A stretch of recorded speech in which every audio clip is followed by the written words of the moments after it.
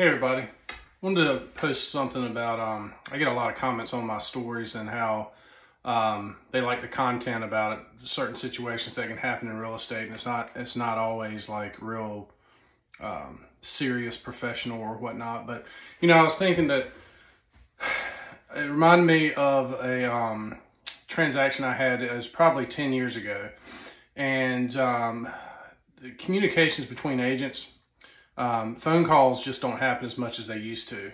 And if you're within a um, certain age difference of me, some people will not even talk on the phone. It's all text. It's just all text. And there's something to be said about um, putting things in context uh, from a from a email or a text, where a phone call you can explain things and talk to somebody like a human being or whatever. So this 10 years ago, I had a transaction um, my my sellers, I was a listing agent. They were closing on their house and then buying a house the same day, which is always a nightmare to try to work out.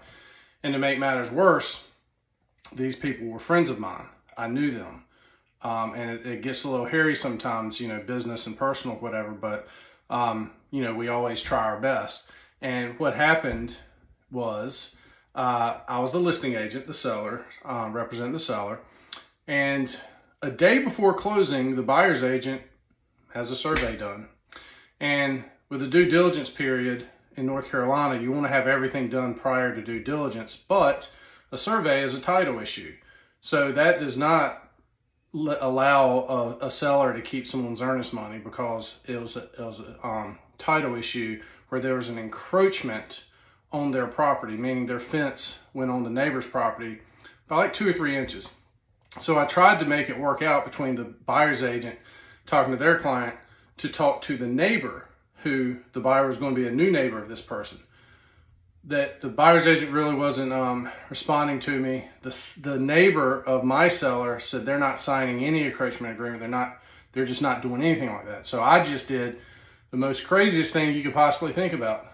I had the buyers who were not my clients, got in touch with them, had them meet me and the seller, the neighbors of the sellers, meet both of them, put them together as human beings and talk the situation through. I walked away and lo and behold, they liked each other. It worked out.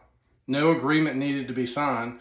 But the point is, is it's a lot better when you can talk to somebody on the phone instead of a text or email when there's no emotion coming through whatsoever. So just a little tidbit I thought I'd pass on.